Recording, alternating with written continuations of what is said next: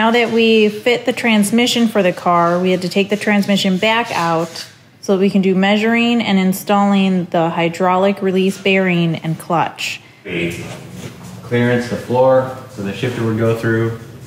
We got the bell housing uh, all zeroed out to the crank.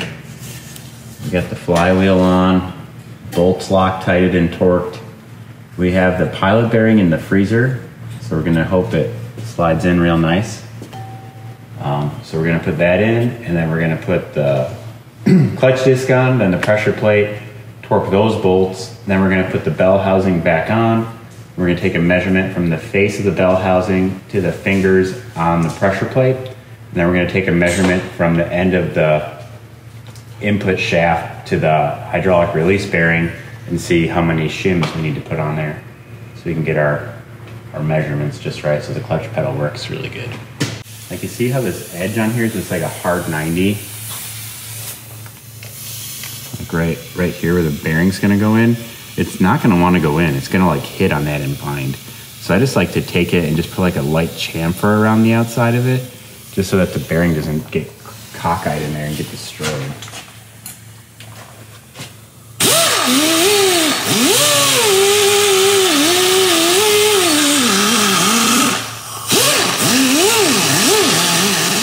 Here's our pilot bearing.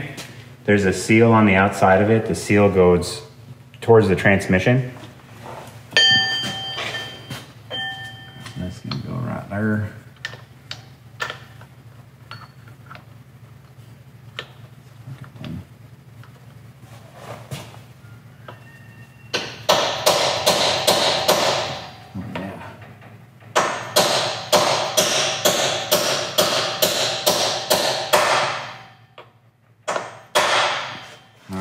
Can hear by the sound, the extra thud, that it is installed.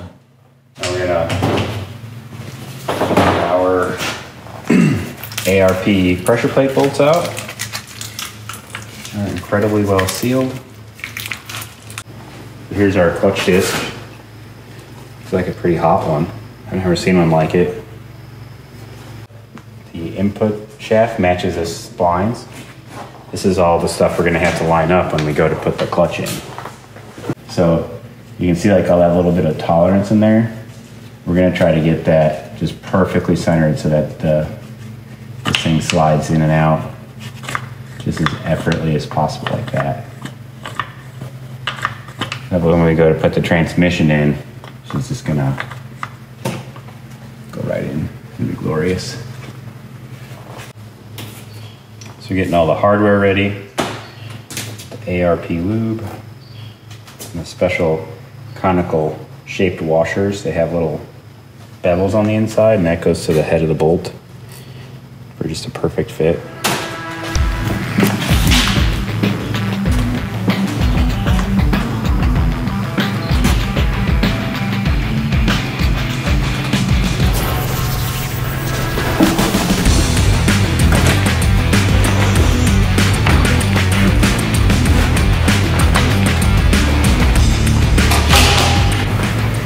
So I wonder if we're on the inner bolt holes or the outers. Looks like we got two different ones. Let's see what we got. Yeah, it's gonna be those.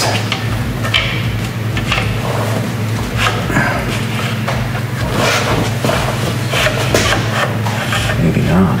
It is the outers. Okay. Got our bolts all greased up.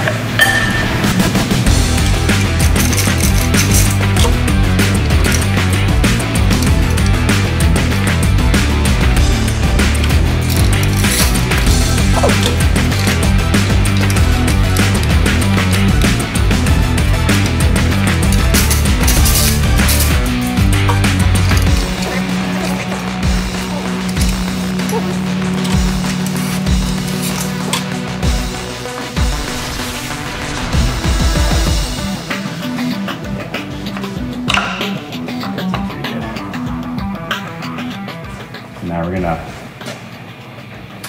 get these bolts snugged up. And then we're gonna go ahead and torque them. We'll just line them down just so they're touching like a crisscross.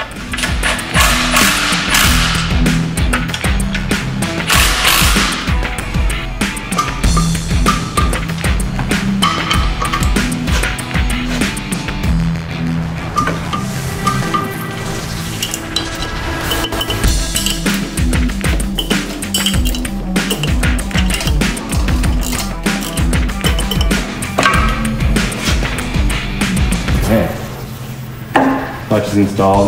Now we're gonna put the bell housing back on.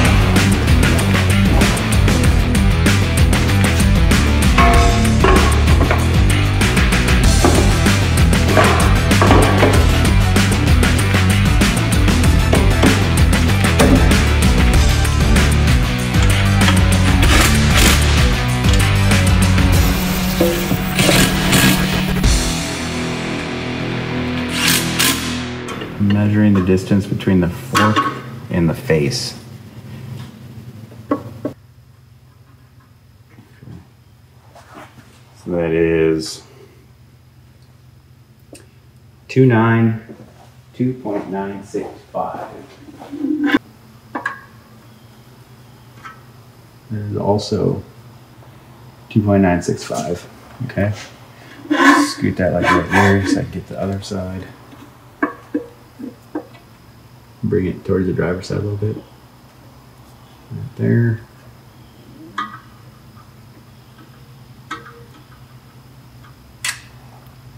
Which is 3.1. Got a random wide one there. Yeah. That's 3.0. So 2.75. So we're measuring the distance from the face of the bell housing to the uh, fingers on the pressure plate. Um, in the instructions, they say to take it, take the measurement in three different spots. So we measured it in two spots. We got the same number. In a third spot, we got 35 thousandths difference. Um, so we took the three of those, added them together, divided by three, and then we came out with 2.726. So we're gonna write that right here. And now the next measurement we're gonna make is the distance between the bearing face and the mounting surface of the transmission. That's this right here. So we don't have any shims back here. We're gonna take this and set it across here. And we're gonna measure this distance right there. We got 2.561. 2.562. The instructions say to take A, which is 2.726, and subtract 2.562, which gives us 0.164. And the ideal um, space that we want is 0.15. So we're 14 thousandths away from being perfect, which is fine. So we don't need to add a shim. So we uh, are pretty much ready to install the transmission as it is. We got the alignment pin on here with some Loctite to hold the release bearing. Then we got the lines installed to slide through the clutch fork hole opening. And hopefully it's the last time we have to take it out.